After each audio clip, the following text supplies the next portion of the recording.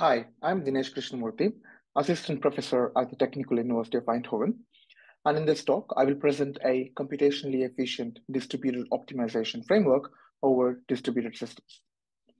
Now consider a distributed learning problem where we want to learn a common inferential model using local datasets across multiple worker nodes. Alternating directions method of multipliers, ADMM, is a simple yet powerful decomposition coordination framework that allows one to decompose such problems into smaller subproblems that are coordinated by a central server. ADMM requires the subproblems and the master problem to be solved iteratively until some stopping criteria is met. In other words, every time a local node receives updated information from the central node, it has to resolve its potentially non-convex nonlinear optimization problem whose difficulty increases with the size of the problem. Repeatedly solving the subproblems can quickly add to the overall computation time. This can be challenging, especially if large number of iterations are required, or in real-time decision-making problems, such as distributed MPC, where ADMM iterations must be solved within the required sampling time. Heterogeneity in the agents in terms of the local processing power and data size also implies that the CPU time per iteration is dictated by the slowest agent, leading to what is known as memory locking. Research efforts have been predominantly aimed at reducing the number of communication rounds between the master and the subproblems. Although these are very important developments in the field of distributed optimization, the computation burden of solving the local subproblems itself still remains.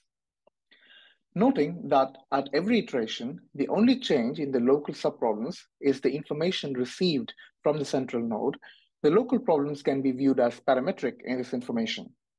By doing so, one can exploit parametric sensitivities to reduce the computation time of the subproblems from one iteration to the next.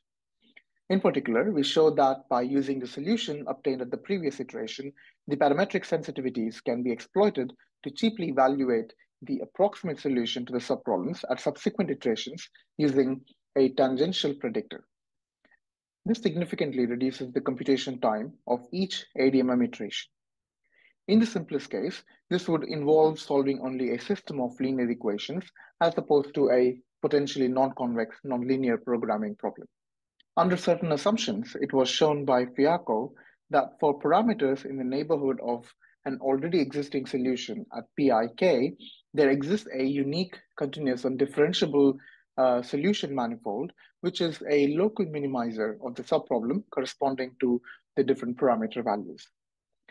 Now we can linearize the solution manifold around the current iterate, where if we can compute the sensitivity, which is given by the partial x by partial p, we can then cheaply approximate the solution to the new parameter value. Using implicit function theorem on the KKT matrix, sensitivities can be obtained by solving a system of linear equations, which is the tangential predictor. The accuracy of a tangential predictor depends on the problem Lipschitz uh, properties as affecting how much the problem changes iteration to iteration. The approximation error on the optimality residual can be controlled to a desired accuracy by adding additional corrector steps we demonstrate this on a distributed learning problem where we want to train a neural network to learn the optimal policy using expert demonstrations, which in this case we assume are obtained from different robots. We first solve this using standard ADMM, which is shown in blue, and we can see that this requires around 5,000 seconds of CPU time. Then we solve using our proposed sensitivity-assisted ADMM with only the tangential predictor, which is shown in red, and the CPU uh, time per iteration, we can see, has now reduced by about five orders of magnitude. And this has resulted in the overall learning problem uh, requiring less than 20 seconds as opposed to 5,000 seconds.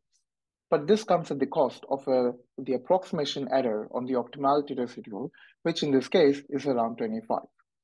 We can further enforce a tighter bound on the approximation error using additional corrector steps which follows the standard ADMM iterations closely, but at a significantly lower computation time. This clearly shows the benefit of our proposed sensitivity-assisted distributed optimization framework. Our proposed sensitivity-assisted distributed optimization also has a broader impact on optimization problems arising in several areas such as distributed learning, real-time control of multi-agent systems, flow routing problems, optimal resource allocation, to name a few, all of which can be formulated as a distributed optimization problem and solved efficiently using the proposed sensitivity-assisted distributed optimization framework.